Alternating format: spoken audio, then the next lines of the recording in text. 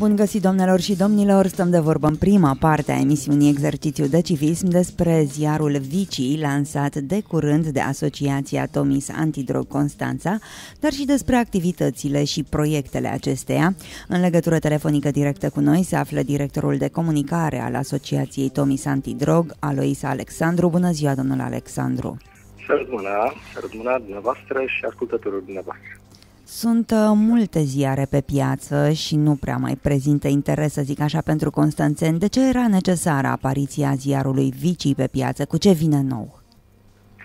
Uh, în primul rând, aș vrea să subliniez un lucru. Faptul că ziarul uh, Vicii, inițiat și adus la lumina tiparului cu ajutorul membrilor Asociației Tomis Antidro Constanța, nu este un ziar care să facă concurență ziarelor uh, prezente astăzi pe, pe piață. El este un ziar uh, al asociației care va fi distribuit gra- gratuit în uh, instituțiile de învățământ. Se adresează strict tinerilor și adolescenților. De ce era nevoie de un astfel de ziar și cu, cu titlul acesta? Cunoaștem cu toții că amploarea viciilor și când uh, mă refer la vicii uh, uh, spun alcoolul, tutunul, jocurile de noroc, internetul și, nu în ultimul rând, consumul de substanțe stupefiante numite generic droguri.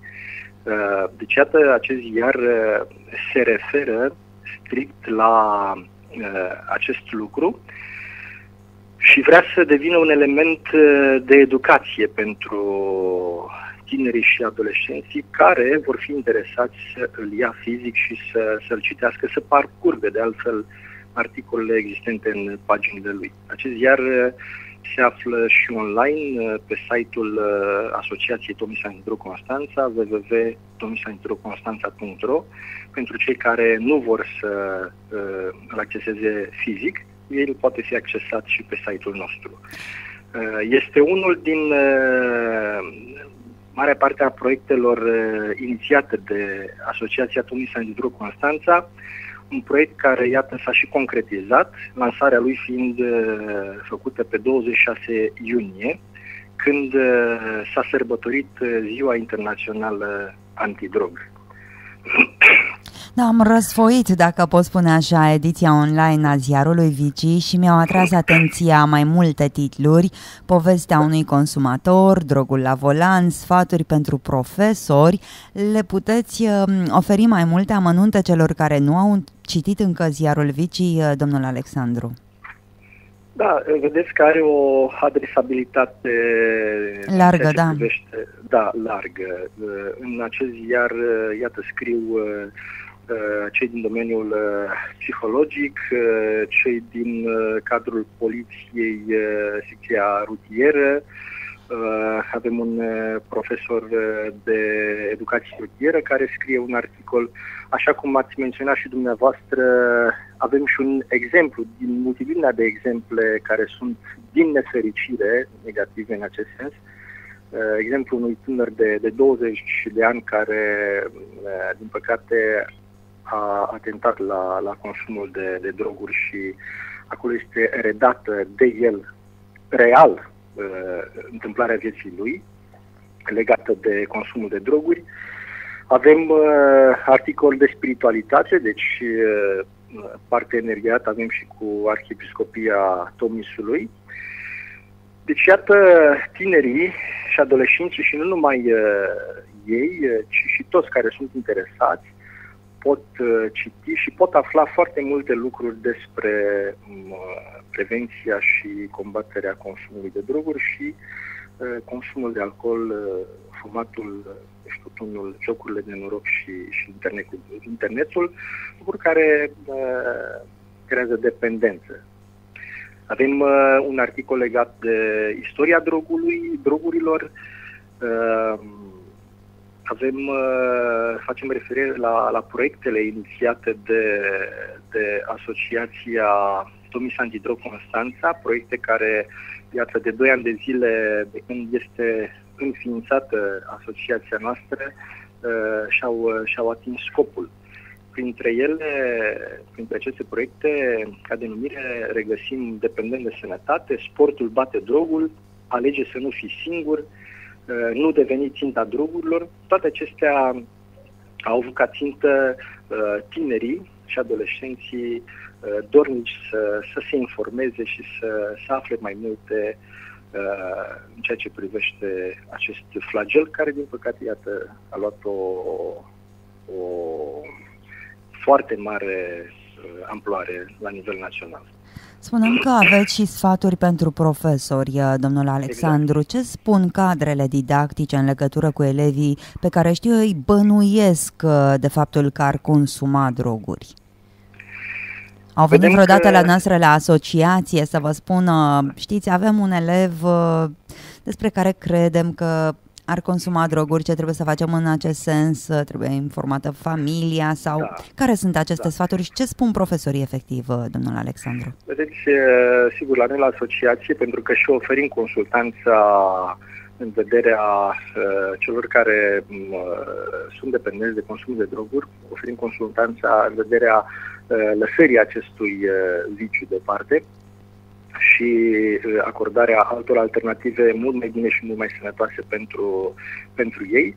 Uh, profesorii, uh, sigur că de altfel și, și părinții, că și ei la rândul lor sunt, sunt părinți, se pun în, uh, în postura uh, părintelui care uh, ar putea avea în familie un, un tânăr sau o tânără care are tendința aceasta de a consuma droguri. Până acum, ce să zic, nu au venit profesori la nivelul asociație și să ne ceară sprijinul în sensul acesta, însă au fost deschiși la uh, parteneriat uh, cu Asociația Pumii Santuro Constanța în ceea ce privește instituția de învățământ din care, din care ei fac parte, pentru a le prezenta elevilor uh, aspecte legate de, de acest lucru. Vedem că nu este o problemă numai a unui singur individ, este problema întregii comunități, întregii societăți. De aceea, ziarul are o adresabilitate uh, extrem de largă și el uh, este difuzat la, la nivel național. Chiar astăzi, Biblioteca Națională a intrat în uh, posesia acestui ziar. El se află și pe site-ul Ministerului Educației și pe site-urile, site-urile altor instituții la nivel, instituții la nivel național. Va apărea săptămânal, uh, lunar? Uh, cum v-ați gândit să... Apariția, apariția ziarului Vici uh, va fi lunară. Următoarea ediție a acestui ziar va apărea pe 26 august. Deci intenționăm să fie o apariție lunară. Instituțiile de învățământ din, din Constanța vor beneficia de de el eh, chiar odată cu începerea anului școlar, deci vorbim de, de școli generale, de licee și de, și de facultăți. Deci va fi, va fi tipărit în, în număr mare pentru ca e, eh, toți doritorii să, să beneficieze de el.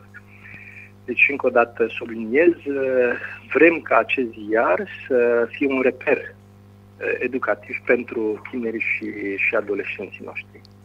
Am văzut de asemenea în ziarul Vici o rubrică intitulată Vedete și droguri. Cred că i-ar tenta pe tineri să citească această rubrică. Da, ne, ne îndreptăm uh, și spre acest segment, uh, spre showbiz, uh, așa cum ați spus, este vorba de un interviu acordat de Tudor Sișu, vestitul cântăreț, care sigur din nefericire a trecut printr-o experiență de, de felul acesta și ca el cunoaștem foarte multe cazuri din, din sfera aceasta a showbizului. Uh, sunt, este nevoie de, de exemple. Uh, știți cum se spune, din, din greșeli putem învăța. Uh, însă să nu perseverăm în greșeală, să nu continuăm ca, ca greșeala să fie repetată uh, Uh, la nesfârșit. Însă, în ceea ce privește consumul de, de stupefiante, consumul de droguri, tinerii și adolescenții trebuie să cunoască faptul că în momentul în care sunt tentați să încerce prima doză, de la prima doză se instalează dependența. Deci este o ușă care trebuie să rămână uh, închisă pentru totdeauna, pentru cei care au intenția să facă lucrul acesta. Am văzut că promovați și voluntariatul chiar în uh, cadrul ziarului. Sunt interesați uh, constanțenii să facă acțiuni de voluntariat, domnul da, Alexandru, mai ales pe acest domeniu este esențial și tinerii, cei doritori care vor să vină alături de Asociația Tumis Antidru Constanța într-o muncă de voluntariat, sunt uh, bine primiți. Avem nevoie pentru că, așa cum am spus, inițiem uh, programe, inițiem proiecte și toate aceste proiecte au nevoie de, de muncă susținută. Promovăm uh, voluntariatul, mai ales că de curând a apărut și legea 78 pe 2014 care încurajează voluntariatul. Cei care vor să devină voluntari în cadrul asociației noastre vor beneficia la terminarea contractului de voluntariat de un certificat care le va fi folositor pe mai departe în experiența depusă în cadrul asociației noastre. Felicitări pentru inițiativa de a lansa un ziar care promovează în rândul tinerilor un stil de viață sănătos. Am stat de vorbă cu directorul de comunicare al Asociației Tomis Antidrog Constanța, Alois Alexandru. În partea a doua a emisiunii Exercițiu de Civism vom afla de la liderul sindicatului feroviarul Vasile Angel câți angajați vor fi dați afară de la CFR Marfă Constanța și când vor începe disponibilizările. Exercițiu de civism cu Auris Luca.